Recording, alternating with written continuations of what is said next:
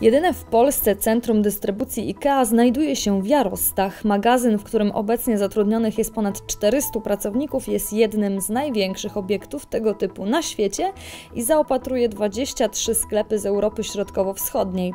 Postanowiliśmy przyjrzeć mu się z bliska i zobaczyć, czym się wyróżnia. Zwróciłbym uwagę przede wszystkim na dwa automatyczne magazyny wysokiego składowania, które mamy. Pierwszy był tutaj od początku, na początku był to magazyn półautomatyczny, no i drugi automatyczny magazyn, który był wybudowany w 2011 roku. To jest coś, co daje nam, e, nam przewagę pod kątem samej infrastruktury na obiekcie. W pełni zautomatyzowany magazyn wysokiego składowania, czyli tzw. Tak silo, stanowi najważniejszy element centrum dystrybucji w Jarostach. Jakie korzyści automatyzacja niesie dla firmy i magazynu? Po pierwsze e, mówimy tu o możliwości zaskładowania większej ilości e, palet na dany metr kwadratowy.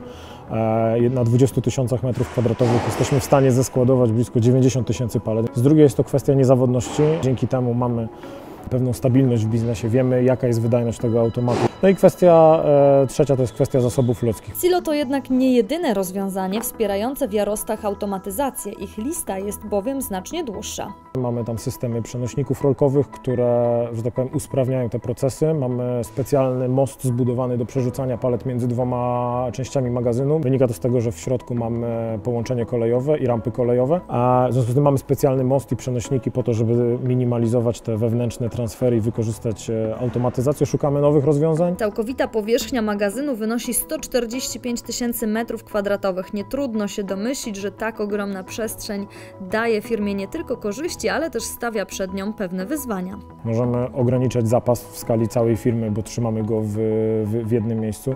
Możemy koncentrować różne biznesy, co też nam daje pewną elastyczność w, w działaniu. Natomiast oczywiście jest to y, magazyn zlokalizowany y, w danym miejscu, e, w związku z tym niesie to za sobą pewne ryzyka, na przykład konieczność zorganizowania odpowiednich zasobów, żeby taką operację móc zarządzić. Niemniej interesującą dla nas kwestią były rozwiązania ekologiczne, którymi IKEA chętnie chwali się w broszurach i komunikatach prasowych.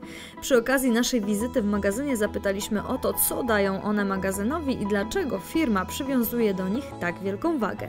Wymieniłbym przede wszystkim tak, mamy oświetlenie LEDowe w e, części magazynu, to również wpływa na ergonomię pracy, na bezpieczeństwo pracy, minimalizuje ilość odpadów. Mamy własną oczyszczalnię odpadów tutaj na miejscu. Szukamy alternatywnych źródeł energii. A jakie plany na przyszłość ma Centrum Dystrybucji w Jarostach? Może być to na przykład kwestia zmiany troszeczkę sposobu pickingu. Dzisiaj używamy standardowych skanerów i terminali na wózkach, natomiast mamy już fajne doświadczenia e, z używaniem skanerów w rękawiczkach, które ułatwiają proces pickingu. A będziemy szukać tutaj rozwiązań na przenośniki automatyczne również pod kątem dystrybucji do klientów, po to, żeby przepływ palet przez magazyn e, był lepszy. E, również e, wózki automatyczne do pokonywania krótkich dystansów, takie bezobsługowe, gdzie, gdzie po prostu wózek jest w stanie przemieścić paletę z punktu A do punktu B. Też mamy takie rozwiązania w innych magazynach i też przymierzamy się do tego, żeby stosować to i testować w Jarostach.